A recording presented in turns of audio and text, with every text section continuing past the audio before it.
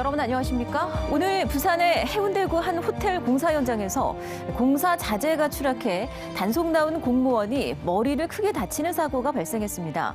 현장에서 안전 조치가 제대로 이루어졌는지 지금 경찰이 조사하고 있습니다. 류재민 기자가 보도합니다. 오늘 오전 10시쯤 부산 해운대구의 한 호텔 공사 현장 앞. 노란색 단속 차량에서 도로 단속원들이 나와 현장 관계자들과 이야기를 나눕니다. 잠시 뒤 이들 위로 갑자기 긴 막대 하나가 떨어지고 깜짝 놀란 사람들이 우왕좌왕하며 몸을 피합니다. 현장 직원의 부축을 받으며 나와 주저앉는 남성은 해운대구청 소속 도로단속원 51살 A씨. 호텔 공사 현장 12층 높이에서 떨어진 길이 1.2m, 폭 8cm의 나무 받침대에 머리를 맞은 겁니다. A씨는 이렇게 공사 현장 주변에 적시된 자재들이 많다는 민원을 받고 확인을 위해 현장을 나왔다 사고를 당했습니다.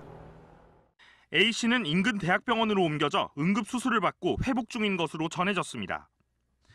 경찰은 크레인을 이용해 자재 더미를 옥상에서 바닥으로 옮기는 중간에 못으로 덧대어 놓은 나무 받침대가 떨어진 것으로 보고 있습니다.